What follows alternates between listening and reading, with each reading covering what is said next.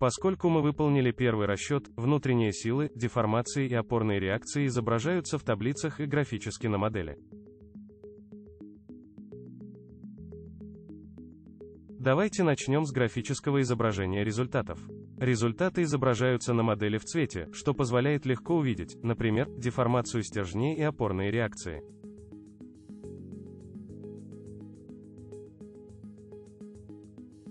Слева в навигаторе мы можем выбрать тип расчета из списка, и доступные результаты будут выведены в виде древовидной структуры. Здесь мы можем щелкнуть по желаемому результату, чтобы просмотреть его в рабочем окне. Кроме перемещений, мы имеем доступ к внутренним силам, напряжениям, деформациям и опорным реакциям.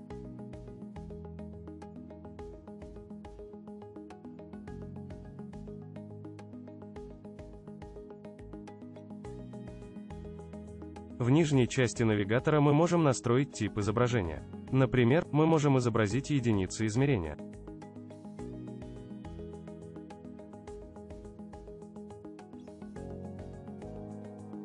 Кроме графического вывода, доступны также таблицы результатов.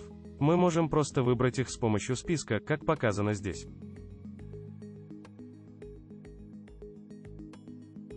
Первой таблице результатов представлен краткий обзор, включающий баланс сил в системе и максимальную деформацию. Кроме того, здесь изображается информация о процессе расчета. Таблицы результатов можно фильтровать по определенным критериям, таким как экстремальные значения или расчетные места.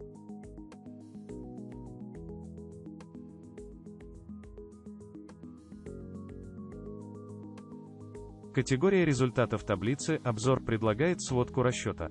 В строке заголовка таблицы можно переключаться между результатами загружений и сочетаний.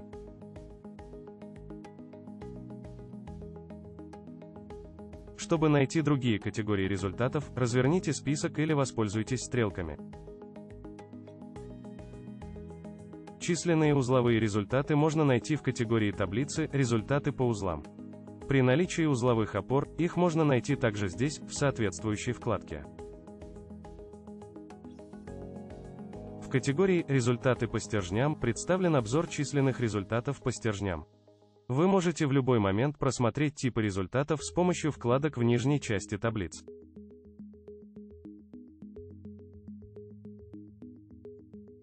В таблицах результатов в цветовом режиме изображаются все положительные и отрицательные внутренние силы, а также их отношение к экстремальным значениям.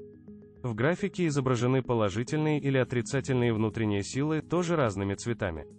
При необходимости, пользователь может цвета легко изменить. Одним из полезных инструментов в данном случае является взаимодействие между таблицами и рабочим окном в режиме реального времени.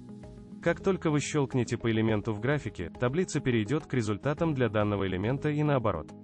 Стрелка указывает место X на элементе. Это обеспечивает эффективный способ работы.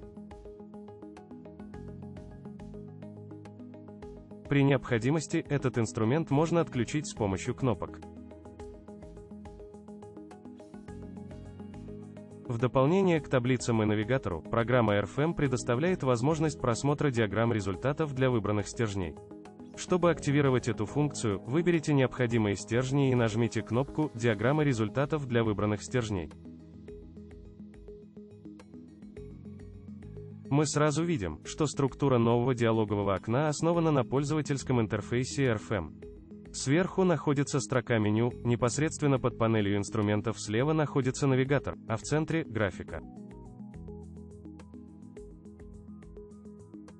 Как обычно, с помощью списков можно выбрать тип расчета, категорию результатов и сочетание нагрузок. Мы выбираем необходимые результаты в навигаторе слева, чтобы изобразить их на графике.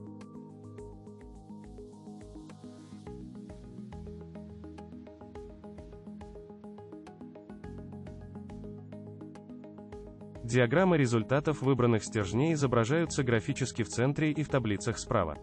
Вы можете использовать мышь или текстовое поле в правом верхнем углу для анализа конкретного места.